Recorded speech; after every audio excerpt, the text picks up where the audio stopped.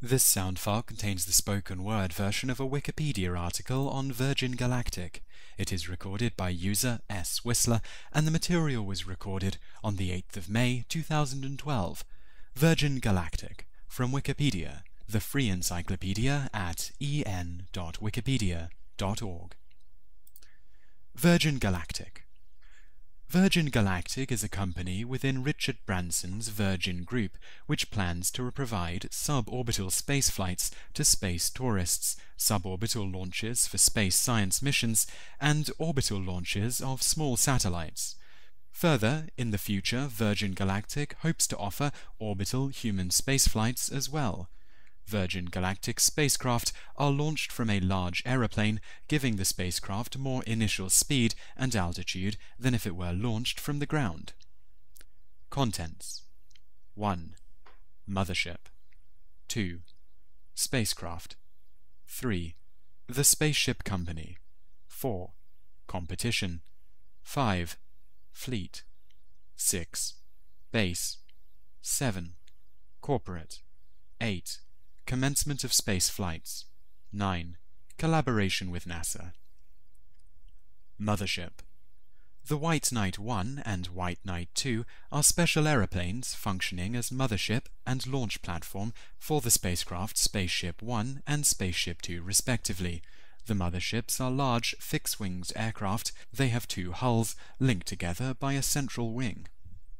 Spacecraft Overview of the spacecraft flights it is planned that the spacecraft will be robust and affordable enough to take paying passengers $200,000 per person with a $20,000 deposit as of September 2011.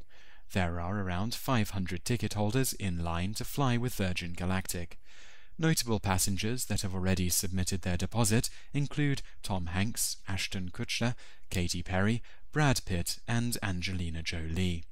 The aircraft is projected to be a six-passenger, two-pilot craft. Its planned trajectory will overlap the Earth's atmosphere at 70,000 feet 21,000 meters, which will make it a suborbital journey with a short period of weightlessness. The spacecraft, Spaceship Two, will be carried to about 16 kilometers or 52,000 feet by a carrier aircraft, White Knight Two. At that point, when the carrier aircraft reaches its maximum height, the Spaceship Two vehicle will separate and continue to over 100 kilometers, the Kármán line, a common definition of where space begins. The time from liftoff of the White Knight booster carrying Spaceship Two until the touchdown of Spaceship Two after the suborbital flight will be about two and a half hours. The suborbital flight itself will only be a small fraction of that time. The weightlessness will last approximately six minutes. Passengers will be able to release themselves from their seats during these six minutes and float around the cabin. In addition to the suborbital passenger business, Virgin Galactic will market Spaceship Two for suborbital flight space science missions and market White Knight 2 for small satellite launch services. They had planned to imitate RFPs for the satellite business in early 2010, however, flights have not materialized as of 2012. Spaceship Two flies to a height of 110 kilometers, going beyond the defined boundary of space, 100 kilometers, and lengthening the experience of weightlessness for its passengers. The spacecraft reaches a top speed of 2,500 miles per hour, current than faster fighter jets. It has double the crew and can carry triple the number of passengers of its predecessor. In honor of the science fiction series Star Trek, the first two ships are named after the fictional starships Enterprise and Voyager. To re-enter the atmosphere, Spaceship Two folds its wings up and returns them to the original position for an unpowered descent flight back to the runway. The craft has a very limited cross-range capability, and until other planned spaceports are built worldwide, it has to land in the area it started. Further spaceports are planned in Dubai and elsewhere, with the intention that the space line will have a worldwide availability and commodity in the future. Spaceship Two Sir Richard Branson unveiled the rocket plane on Monday the 7th of December 2009. Spaceship Two was presented to the world in the Mojave Desert in California. The vehicle underwent testing during the following 18 months before being allowed to take ticketed individuals on short hop trips just above the atmosphere. Sir Richard Branson, who heads the Virgin Group, intends to run the first flights out of New Mexico before extending operations around the globe.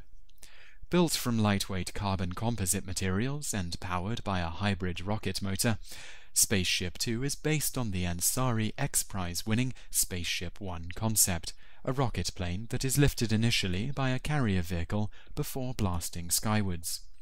Spaceship One became the world's first private spaceship with a series of high-altitude flights in 2004. Its successor, however, is twice as large, measuring 18 meters 60 foot in length, and whereas Spaceship One only had a single pilot and the ballast equivalent of two passengers, Spaceship Two will have a crew of two and room for six passengers.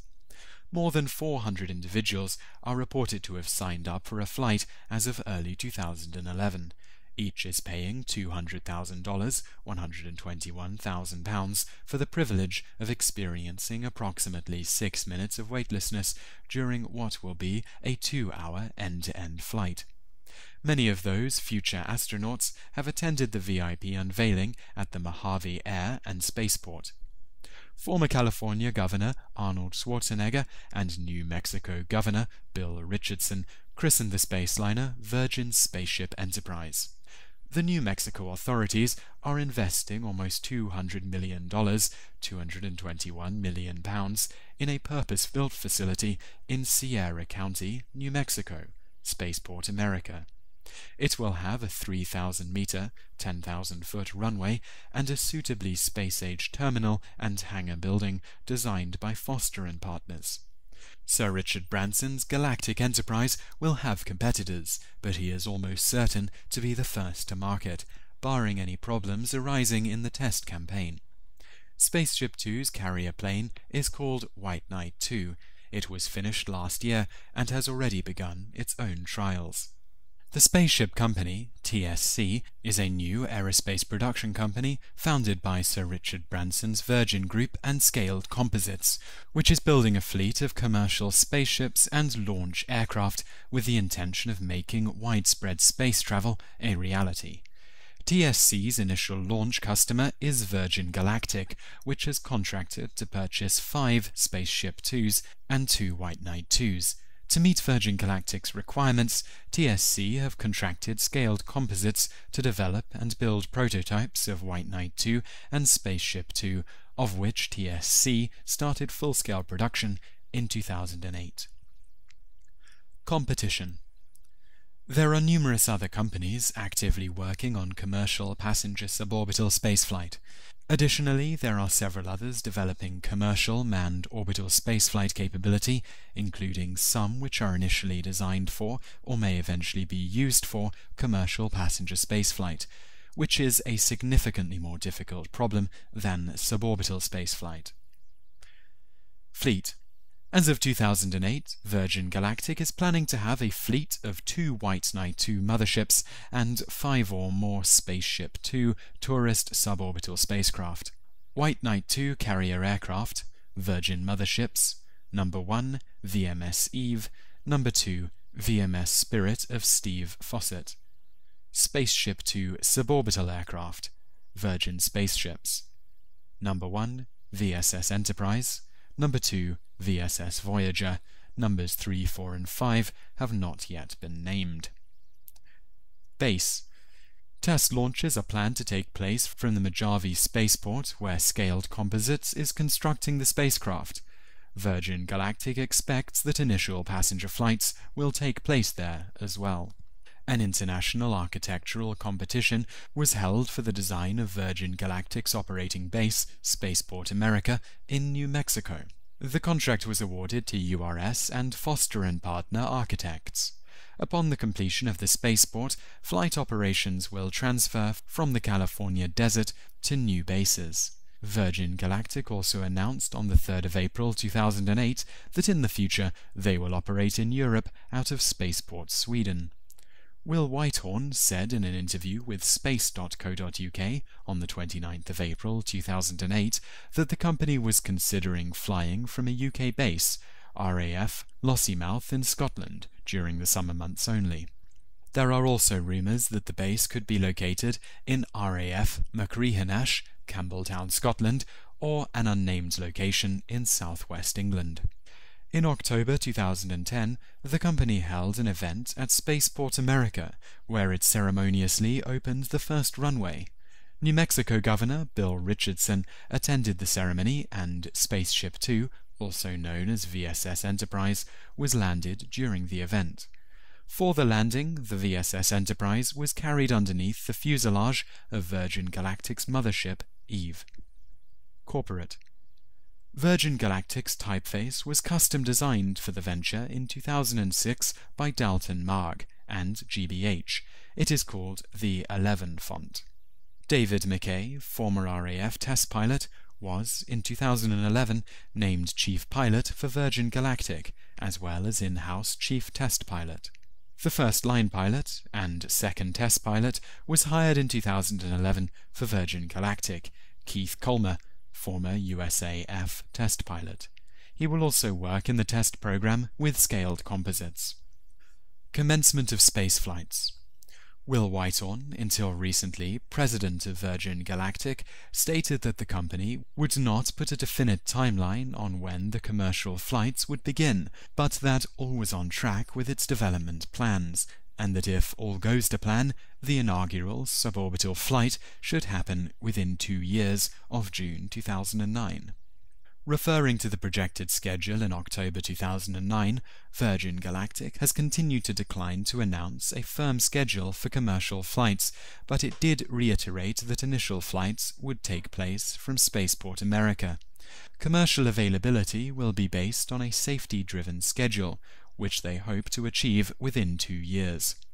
In 2009, Scaled Composites president Doug Shane said that White Knight 2's first Spaceship Two captive flights would be in early 2010. Both aircraft flew together in March 2010. On the 7th of December 2009, Spaceship Two was unveiled at the Mojave Spaceport. By February 2010, Spaceship Two had completed 15 test flights while attached to White Knight 2 and an additional 16 glide tests, the last of which took place in September 2011. Collaboration with NASA in February 2007, officials from Virgin and NASA signed a Memorandum of Understanding to explore the potential for collaboration.